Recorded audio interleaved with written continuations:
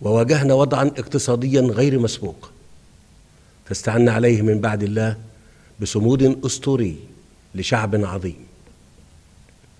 كما علم الإنسانية يوما الحضارة والمدنية يضرب المثل الآن في إدراك قيمة الوطن والحفاظ عليه. وتحمل المشاق في سبيل ذلك. ولم نكتفي بمواجهة تلك التحديات والتعلل بها.